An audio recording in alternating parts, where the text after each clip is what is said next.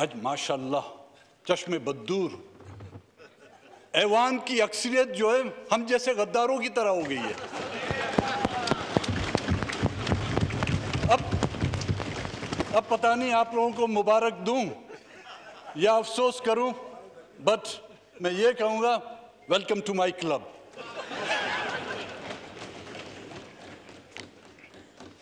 वो कहते हैं कि मैं अकेला ही चला था जानब मंजिल मगर लोग साथ आते गए और इतना बड़ा कारवां बन गया।